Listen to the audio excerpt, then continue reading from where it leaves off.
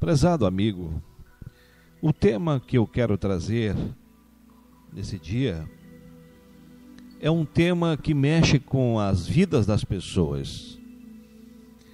No momento em que eu estou fazendo esta reflexão, estou acompanhando nessa data, 7 de abril de 2011, as manchetes e ao vivo a, a televisão trazendo este crime violento, essa tragédia violenta, onde um ex-aluno de um colégio do Rio de Janeiro invade o respectivo colégio e mata 10 alunos e fere mais de 28 pessoas, também alunos. E eu fiquei pensando: onde está Deus no meio de, de tanta tragédia? E eu que fui vítima também dessa tragédia, da perda do meu filho. Onde podemos encontrar força para lidar com estes medos, com tragédias, desastres e ataques terroristas? Até onde podemos contar com Deus?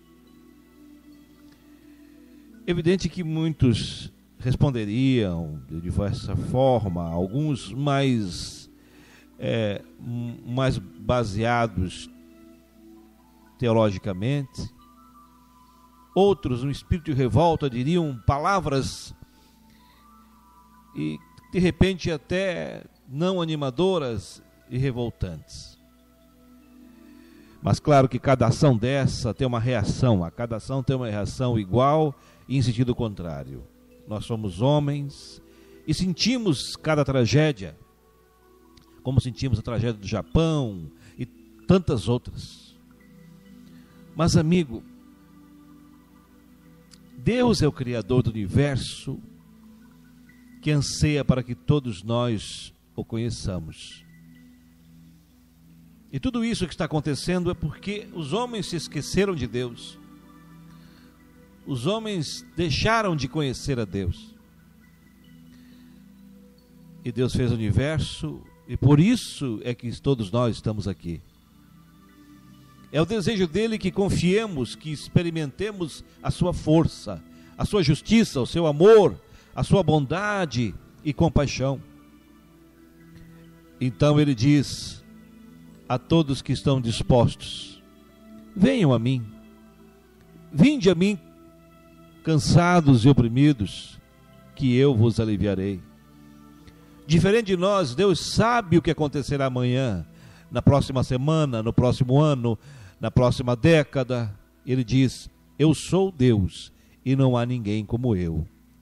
Declarando o fim desde o início. Ele sabe o que acontecerá no mundo mais importante, ele sabe o que acontecerá na sua vida e na minha vida e poderá ajudá-lo se você tiver escolhido incluí-lo em sua vida, em seu projeto de vida, escolhê-lo como o seu guiador.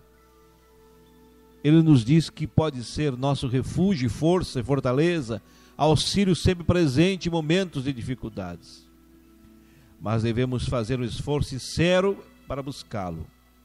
Ele diz: Muitos de vocês me buscarão e não me encontrarão quando me procurarem, de, de, se não for de todo o coração.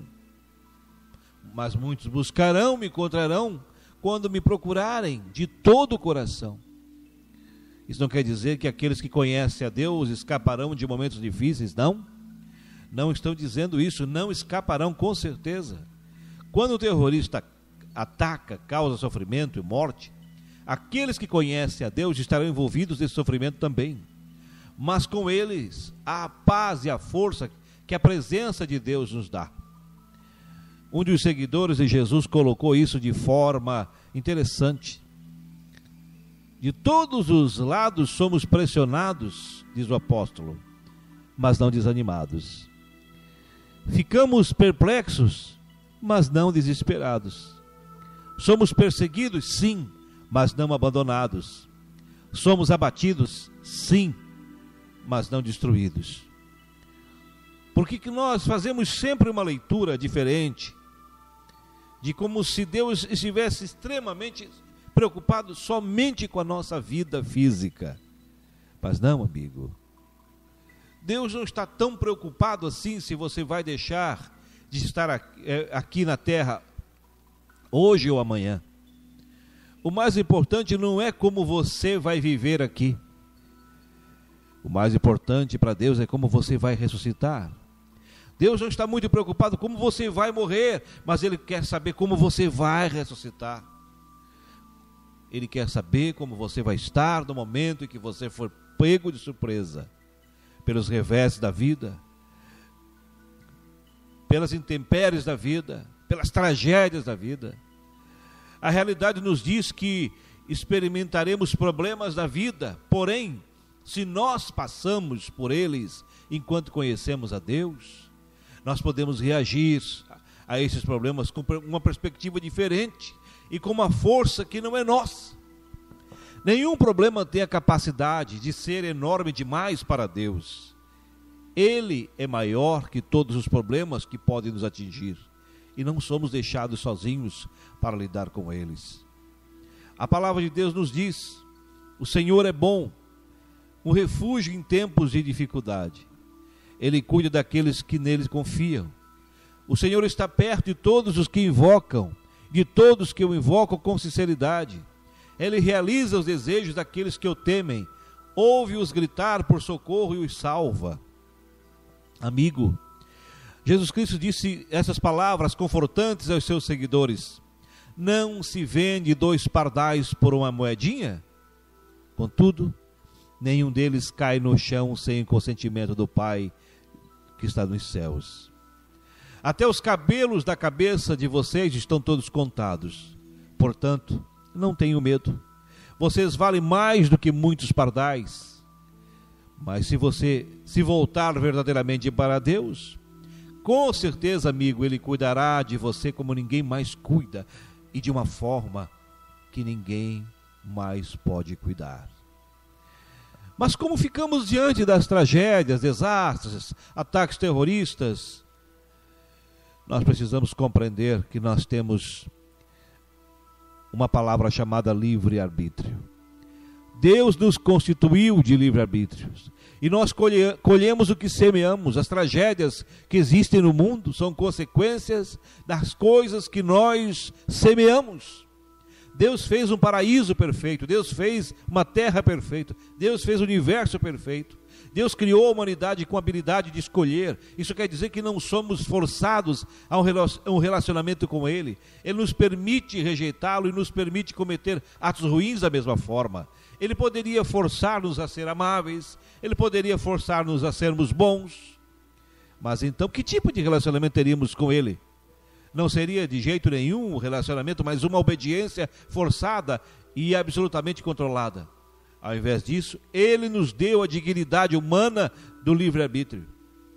Naturalmente, nós choramos no fundo de nossas almas, mas Deus, como você poderia deixar algo dessa magnitude acontecer? Este jovem no Rio de Janeiro entrar, pegar uma arma e sair matando mais 12 adolescentes e tirando a vida de outros, sei lá, e o, que ainda não se sabe nesse momento em que estou fazendo essa mensagem, não se sabe o número certo, e tantos outros feridos. Mas como nós gostaríamos que ele agisse? Nós queremos que ele controle as ações das pessoas.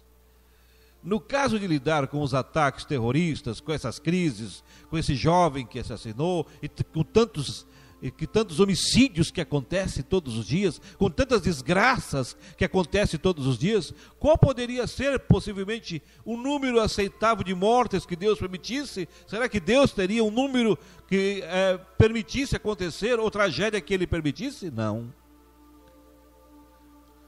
Nos, sentimos, nos sentiríamos melhor se Deus permitisse somente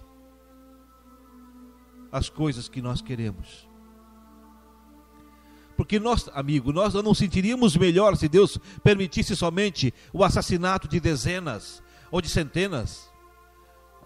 Do mesmo, do mesmo modo, mesmo se Deus evitar a morte de uma pessoa, já não há liberdade de escolha. Porque as pessoas escolhem ignorar a Deus, a desafiar a Deus, a viver a sua própria maneira e cometer atos horríveis contra os outros. Esse planeta, amigo, não é um lugar seguro. Alguém pode atirar em nós, ou podemos ser atropelados por um carro, ou podemos pular de um prédio é, atacado por terroristas, ou qualquer número de coisas que possa acontecer a nós neste momento, neste ambiente duro chamado terra, um lugar onde a vontade de Deus não é sempre seguida. Mas ainda, Deus não está à mercê das pessoas, mas pelo contrário, nós é que estamos à sua mercê. Felizmente, Ele está sob controle. Esse é o Deus que criou o universo com suas estrelas incontáveis, simplesmente ao falar as suas palavras: haja luz no firmamento do céu e houve luz. Esse é o Deus que diz que reina sobre as nações e ele é ilimitado em poder, ele tem poder sobremaneira e sabedoria. Embora os problemas pareçam enormes demais para nós, nós temos um Deus incrivelmente capaz que nos lembra: eu sou o Senhor, o Deus de toda a humanidade. É uma coisa difícil demais para mim, eu entendo, principalmente para mim que tive perdas. O Deus de toda a humanidade, sim, alguma coisa difícil demais, homens pecadores que não entendemos como as coisas acontecem mas Deus está no controle. E Ele colhe sempre a rosa certa no tempo certo. E Ele sabe porquê das coisas. E somente Ele o sabe. Porque Ele sempre quer o melhor para os seus filhos. Porque Ele não nos vê dessa forma como nós vemos. Ele não vê o homem que padece, que morre numa tragédia, como nós vemos porque ele olha e vê como uma flor que é colhida, ou, ou no seu momento próprio, ou no momento antecipado. Por que a diferença? Que diferença poderia haver entre os que partiram hoje e os que partiram amanhã? Todos nós haveremos de passar por isso, de um jeito ou de outro, ou por uma doença, ou por uma tragédia. Todos haveremos, infalivelmente, de passar pelo vale da sombra e da morte. Por isso o salmista Davi disse: Ainda que eu ande pelo vale da sombra da morte, não temerei, porque tu estás comigo. A única garantia de Davi era essa, a única certeza que ele tinha era essa, de que Deus estaria com ele mesmo na hora da morte, mesmo na hora do vale, mesmo na hora do deserto. Eu ainda assim diria para você: Deus claramente diz: meu conselho prevalecerá, e eu realizarei todo o meu propósito. E podemos obter conforto se nas nossas vidas, amigos, forem submetidas a Ele. Deus se opõe aos orgulhosos, mas dá graça aos humildes. Amigo, muitos de nós, não todos nós, escolhemos às vezes nos desviar de Deus e dos seus caminhos comparados a outros, certamente comparados a um terrorista, nós não podemos considerarmos pessoas respeitáveis e amáveis, mas na honestidade severa dos nossos próprios corações, se tivermos que encarar Deus, seria como o conhecimento do nosso pecado. Ao começarmos a direcionar nossas orações a Deus, não somos surpreendidos, paralisados pelo sentido que Deus conhece bem nossos pensamentos e ações e egocentrismo? Nós temos, com nossas vidas e ações, nos distanciado de Deus. Nós temos, amigos, geralmente vivido como se pudéssemos levar nossas vidas muito bem sem Ele. As escolas estão tirando Deus do centro da sua discussão. As telenovelas tiram Deus do centro das discussões. O que se vende no, na mídia é promiscuidade, é pecado, há uma inversão de valores. A sociedade está carcomida na sua rigidez pelo pecado que é pecado de, de todas as espécies. A infidelidade conjugal, o crescimento da droga, apologia à droga, apologia à traição, apologia tudo que faz mal